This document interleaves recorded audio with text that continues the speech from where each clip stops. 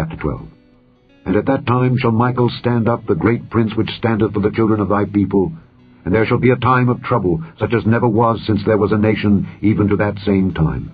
And at that time thy people shall be delivered, every one that shall be found written in the book. And many of them that sleep in the dust of the earth shall awake, some to everlasting life, and some to shame and everlasting contempt. And they that be wise shall shine as the brightness of the firmament, and they that turn many to righteousness as the stars for ever and ever.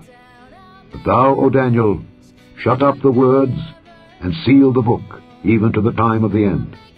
Many shall run to and fro, and knowledge shall be increased. Then I, Daniel, looked, and behold, there stood other two, the one on this side of the bank of the river, and the other on that side of the bank of the river.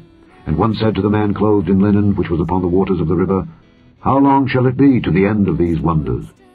And I heard the man clothed in linen, which was upon the waters of the river, when he held up his right hand and his left hand unto heaven, and swear by him that liveth for ever, that it shall be for a time, and times, and an half. And when he shall have accomplished to scatter the power of the holy people, all these things shall be finished.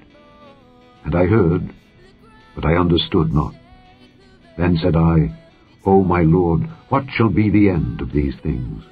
And he said, Go thy way, Daniel, for the words are closed up and sealed till the time of the end.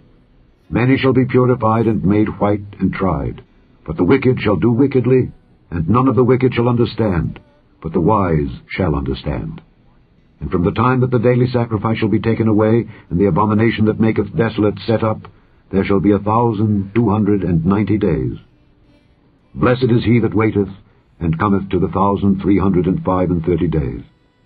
But go thou thy way till the end be, for thou shalt rest, and stand in thy lot at the end of the days. The end of the book of Daniel.